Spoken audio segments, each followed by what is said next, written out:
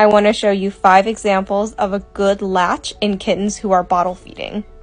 This is one example of what it should look like. The milk is going down slowly, she's suckling, engaged in her latch, and not struggling or fighting the nipple. This kitten has a little bit of a looser latch, so I'm slowly pushing on the syringe to get her that milk.